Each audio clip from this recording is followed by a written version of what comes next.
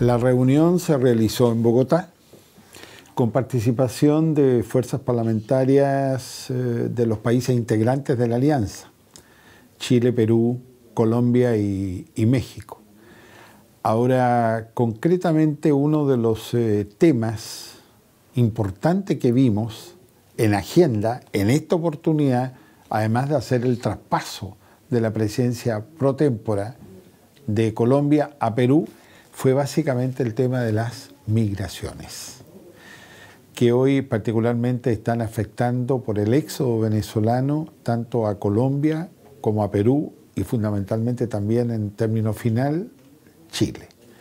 México, por su parte, tiene todo un historial en materia de migraciones ¿no? y situaciones de conflicto en la frontera sur de los Estados Unidos de suerte tal que fue una materia tremendamente debatida en esta Comisión Interparlamentaria de Seguimiento de los Acuerdos de la Alianza del Pacífico.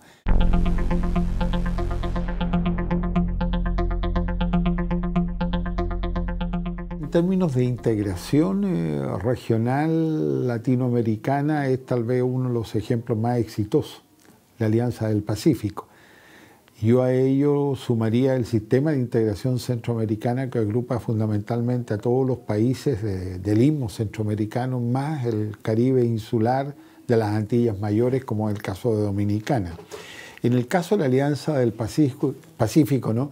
diría que la gran eh, virtud que ha tenido este acuerdo es que básicamente no ha creado ninguna estructura burocrática o cinturones de grasa, ¿no? a veces tan común a las expresiones de organismos internacionales, sino que esencialmente es un comité ejecutivo operativo a cargo, ¿no es cierto?, de los presidentes que integran, ¿no es cierto?, a nombre de sus países, digo, ¿no?, la Alianza del Pacífico, y los ministros, ¿no?, de Economía o de Hacienda o quien sea, sectorialmente hablando, va a llegar a acuerdos y materializar y concretizar.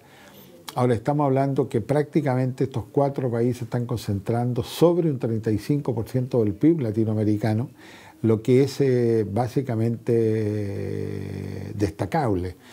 Ahora mm, sería bueno ¿no? que por el Pacífico también se integraran países emergentes ¿no? de la América Central, particularmente yo diría Panamá, que es una economía bastante potente y en rápido crecimiento y ya veremos lo que el día de mañana va a pasar en el Pacífico Sur con Ecuador, que va a tener siempre las puertas abiertas para integrar la Alianza del Pacífico.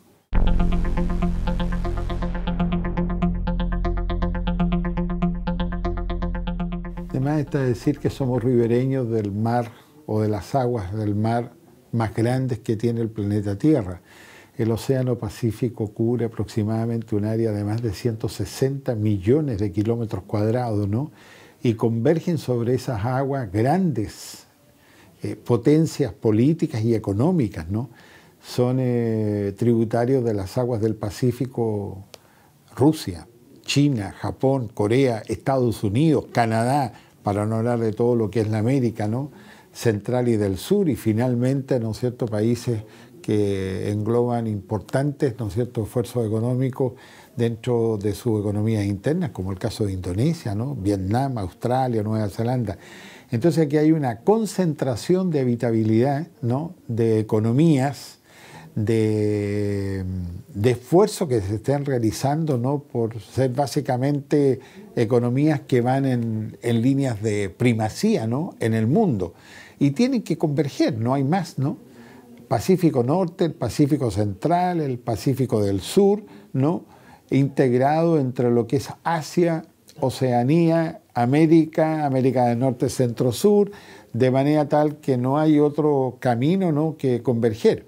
En el caso concreto de Chile, ¿no? sabemos perfectamente bien de que nuestro país está situado dentro de los primeros aliados, ¿no es cierto?, de economías potencialmente muy altas y muy fuertes en el Asia-Pacífico concretamente China, Corea y Japón, y que estamos también en un cuadro de penetración y activación económica con el caso de la República de Vietnam unificado.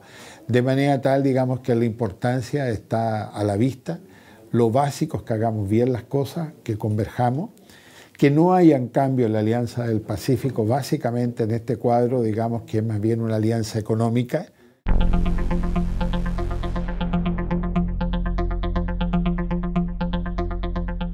Convergen las grandes economías mundiales en el, en el, en el Pacífico, ¿no? Estamos ahí en el caso de China, China popular evidentemente casi ya una primera expresión económica en el orden, en el orden mundial, ¿no? Si a eso nosotros le acompañamos la siempre importante posición de Estados Unidos y de Canadá y de Rusia y de la economía, yo diría más que emergente, ¿no? fuertes del Asia del Sur, eh, también del Pacífico, evidentemente que hace que toda esa zona va a ser un mundo cada vez más atractivo, convergente, ¿no? integrado ¿no? en bienes, servicios, políticas, ¿no?